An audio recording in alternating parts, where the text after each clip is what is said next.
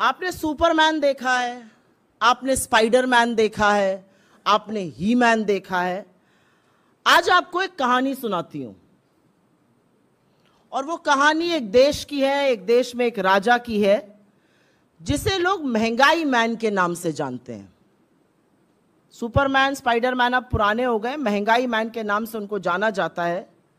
जहाँ महँगाई बढ़ जाती है, टमाटर ट बोलता है, टमाटर महँगा हो जाता है, पेट्रोल पा बोलता है, पेट्रोल महँगा हो जाता है।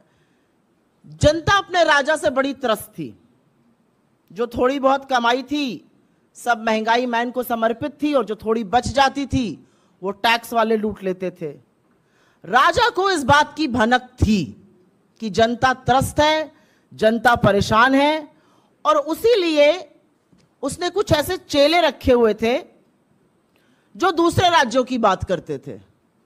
वो कहते थे, फेकुस्तान में टमाटर बहुत महँगा है। फेकुस्तान में आटा बहुत महँगा है। तो राजा इसी में मस्त रहता था कि चेले जो हैं, वो फेकुस्तान की बात कर रहे हैं, उसकी प्रजा की, उसके देश की बात नहीं कर रहे हैं। कुछ चेले ऐसे भी थे, जो टमाटर 140 होने पर जनता को समझाते थे कि टमाटर मत खाइए, पथरी हो जाएगी।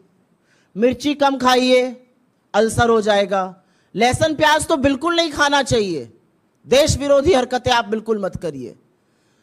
तो राजा को ऐसे लोग थे जो समझाते थे, लेकिन असलियत यह है कि जिस राजा का महँगाई मैन नाम है, वो नरेंद्र मोदी है। और पीपली लाइफ का वो गाना तो आप सभी को याद होगा, महँगाई डायन खाए जात है। उसकी लाइन में बस संशोधन ये है कि सखी सैया तो नईखे कमात है, महँगाई डायन खाए जाते हैं।